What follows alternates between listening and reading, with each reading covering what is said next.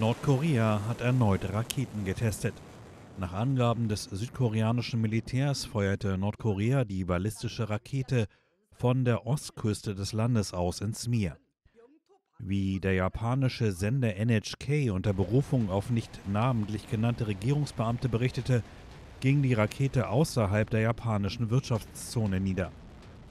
Ein Sprecher der südkoreanischen Regierung fand deutliche Worte.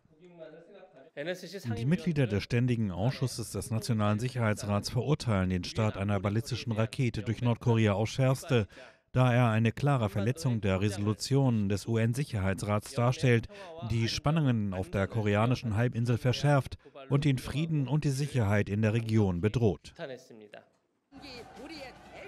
Die Spannungen auf der koreanischen Halbinsel haben sich seit einigen Monaten wieder deutlich erhöht.